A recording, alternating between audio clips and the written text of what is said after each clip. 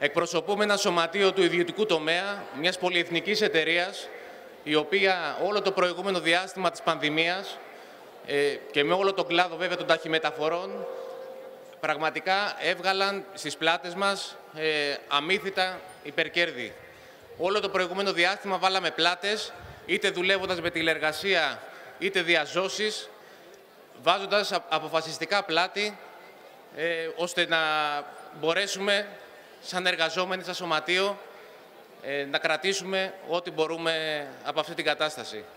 Ε, όλο το προηγούμενο αυτό διάστημα, αγαπητοί συνάδελφοι και συναδέλφισες, ε, ήταν μια πολύ δύσκολη περίοδος από εμάς. Οι, οι εργολαβίες στο χώρο είναι χαρακτηριστικό ότι οργίασαν.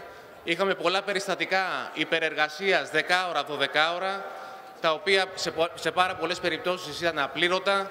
Υπήρχαν περιπτώσεις απλήρωτων υπεροριών, υπήρχαν περιπτώσεις εργαζόμενων με συμβάσεις εργασίας ενός και δύο μηνών, δηλαδή για όσο διάστημα τους χρειαστεί η επιχείρηση και όλα αυτά πραγματικά βλέπουμε ότι αποτέλεσαν τον προάγγελο του, του νομοσχεδίου που σήμερα κατατίθεται προς στη, στη Βουλή.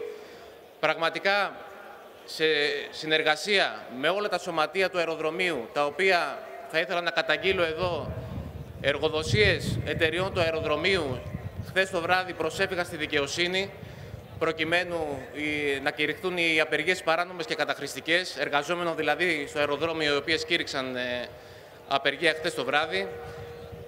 Σε όλη αυτή την κατάσταση εμείς απαντάμε αποφασιστικά, συσπηρωμένα, συλλογικά και θέλουμε πραγματικά αυτό το νομοσχέδιο που θέλει να βάλει τα φόπλακα σε όλα τα όνειρά μας, σε όλες τις ε, προσδοκίες μας, στους νέους, στους φοιτητές, στους άνεργους, στους εργαζόμενους, ε, να μείνει πραγματικά στα χαρτιά.